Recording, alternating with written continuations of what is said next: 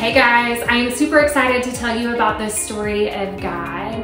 We are going to try something a little different as far as format goes. This is going to be a Bible study that we do in the context of life groups. We have life groups doing this study all different times, all different days of the week, and then we will gather together once a month in the context of a large group time of teaching and discussion. The hope with this study is that we pull back and we look at the big picture of Scripture. We dive into the big themes. Our hope is that we would walk away with a deeper understanding of who the Lord is and grow our worship of Him.